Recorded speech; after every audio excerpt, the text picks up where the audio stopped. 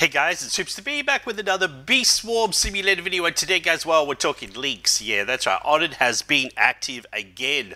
What? Can you believe this, guys? He's actually been active in Roblox Studio. So, yeah, let's go over to my Discord and uh, check it out. So, yes, we have some leaks here. This has actually come from Bee Swarm Simulator Leaks. Onett has uploaded a couple of animations. One's called Worm Wiggle and one's called Flap. Now, I wonder if Worm Wiggle is a mob.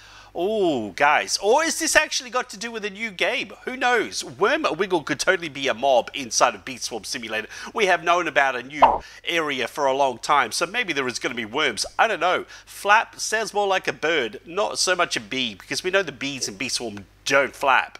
So that is very interesting as well, guys. But interestingly enough, uh, these look like they could be R15 characters. Uh, so that doesn't even make sense on a custom uh, mob anyway. So yeah, we don't really know at this point in time, guys. We don't really know. So uh, basically yesterday, someone recognized that Onett has actually added a couple of plugins to his account. One is the rig editor and one is the Moon Animator. There is no surprise that he's actually come out with a couple of animations. He's uploaded them already. Uh, people definitely like to stalk Onett a lot. But let me know in the comments below whether you think the Worm Wiggle has anything to do with Bee Swarm Simulator.